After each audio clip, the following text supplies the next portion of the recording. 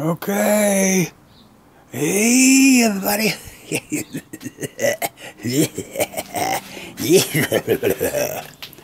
this is uh this is cooling. Doing some bicycle schooling. Now I need schooled. I need some schooling here. If anybody knows anything about BMX bicycle, this was a dumpster dive find.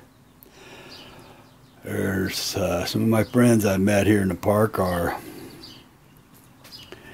you know, dumpster divers.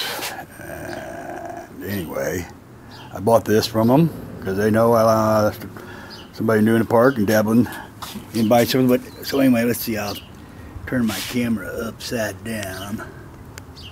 Oop, there goes my straps. Fell in front of the lens. Yeah, there's, you ever see one with an emblem like that on the front? I thought that was pretty interesting. I don't know. Uh, mongoose, right? Got the badger emblem on the back.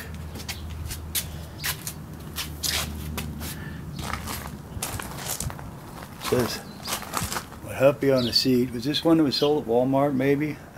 Maybe a special edition for Walmart. I don't know. I thought that front was pretty cool.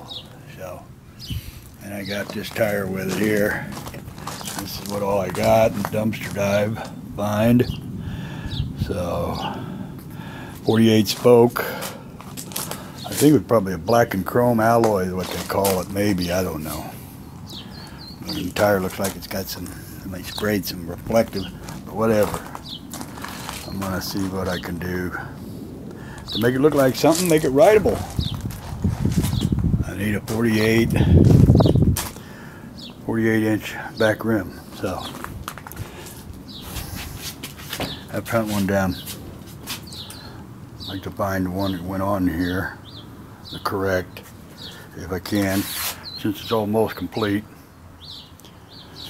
So thumbs up, thumbs down, subscribe, don't subscribe. But if you like dumpster dive finds like this,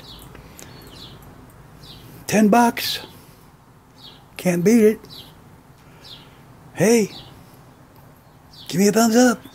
If you don't, give me a thumbs down. I don't care.